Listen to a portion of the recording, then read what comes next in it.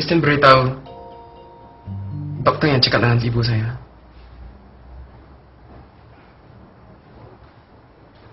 Saya minta maaf. Doktor terpaksa melihat semua itu. Kadangkala kita terpaksa bertungkus lumus. Kan? Untuk mengukuhkan rasa kasih sayang itu. Walaupun kita terpaksa melupakan ketaatan kepada keluarga. Bukan saya yang melupakan ketaatan kepada mereka. Mereka yang tidak mau ketaatan itu. oh, uh, for information Cik J, um, bukan saya yang telefon mak Cik J, tapi dia sendiri yang telefon. Dan ketaatan kepada keluarga tidak mungkin dapat dibuang jauh atau dilupakan.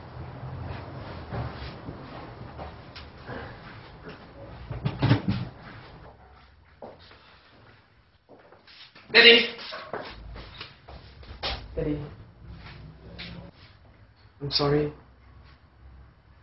Baguslah, Jay. Jadi, kau akan tinggalkan dia. Tinggalkan kehidupan kau tu. Daddy. Bagaimana saya boleh tinggalkan seorang yang sanggup menggadai nyawanya untuk saya? Jay, jangan lupa. Mak dan ayah pun telah menggadaikan nyawa untuk membesarkan kau. Tapi, Chris, terlalu taat kepada saya. Di mana ketaatan kau pada keluarga ini? Di mana Daddy letak muka Daddy ni? Kalau Daddy malu pasal J, kenapa Daddy dan Mama tidak tinggalkan saja J?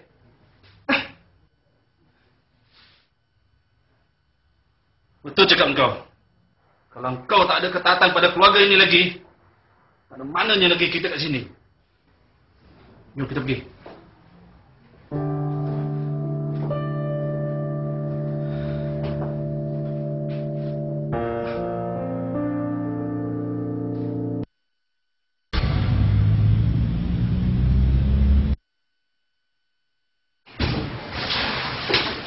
Okey, patient ni perlukan replenishment, check for any possible concussion. Kenapa dia berada di luar hospital? Ini patient siapa? You tak tahu?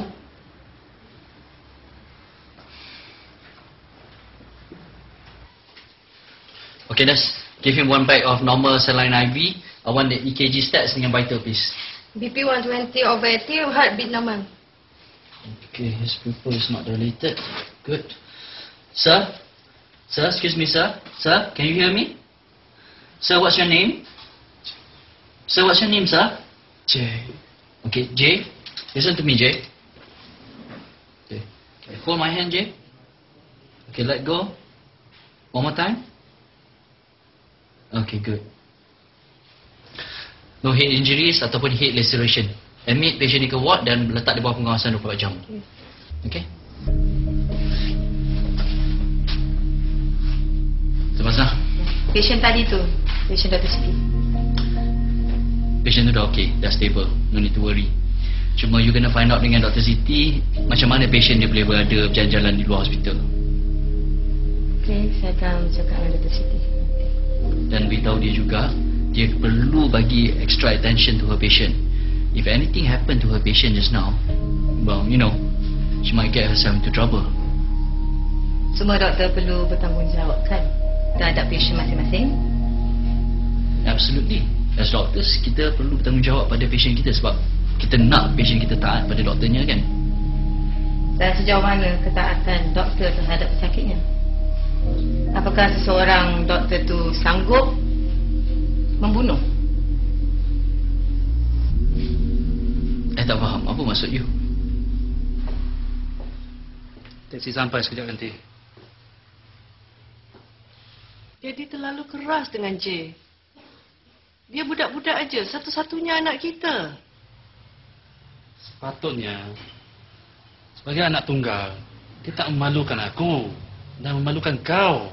Mama tak malu dengan J? Kau tak malu? Orang kata kau tak pandai membesarkan anak. Daddy, keadaan J tak ada kena-mengena dengan cara kita besarkan dia. Itu pilihan dia, hidup dia. Walaupun kita tak setuju cara hidup dia, J tetap anak kita. Saya tak sanggup biarkan dia mati. Maksud Mama? Saya nak berikan dia buah pinggang saya. Kenapa? Kerana itulah maknanya ketaatan kepada keluarga.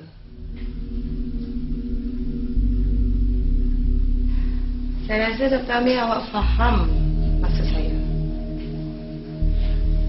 I'm sorry. I tak faham. Saya tahu rahsia awak.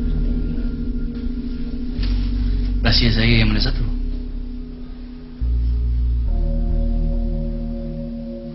Saya tahu yang awak telah dibuang dari register doktor-doktor di United Kingdom.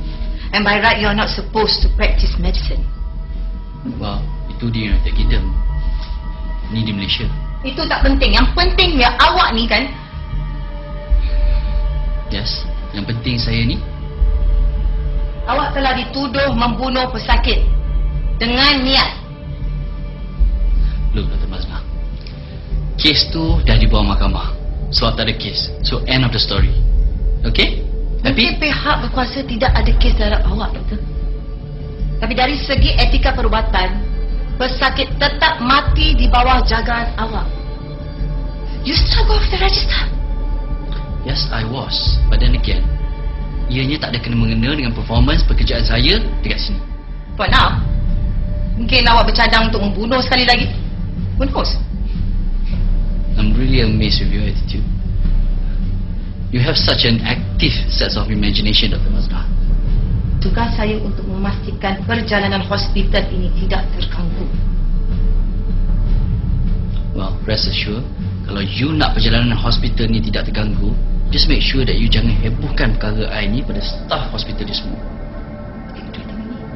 Am not threatening you. I'm just giving you advice as a friend.